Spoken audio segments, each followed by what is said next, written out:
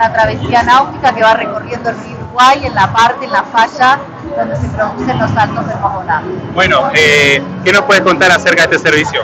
Es un servicio que se brinda todos los días, siempre y cuando el salto esté visible, para lo cual siempre recomendamos comunicarse con las redes, tanto sea del Ministerio de Turismo de la provincia como de la cooperativa, eh, donde informamos todas las mañanas si está visible o no. Si está visible pueden arrimarse al parque, de 9 y media de la mañana a 4 y media se están realizando las travesías náuticas.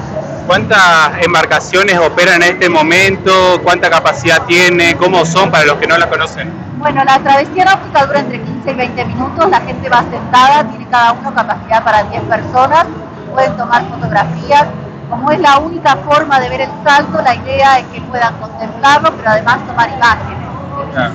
Y eh, en general, depende de la demanda, sea fecha de temporada baja o temporada alta, es que hay más o menos embarcaciones.